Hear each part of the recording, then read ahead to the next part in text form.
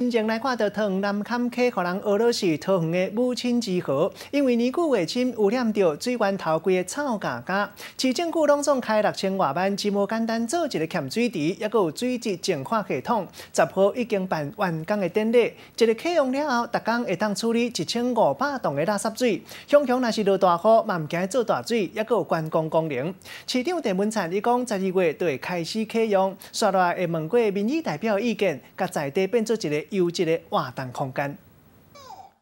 三二一，请右旋。南坎溪水源头水改员工，桃园市长陈文灿亲身去剪彩，佮讲清气的水爱珍惜。原本只有一座新市公园的这个立间带净水系统，我们增加了十一座。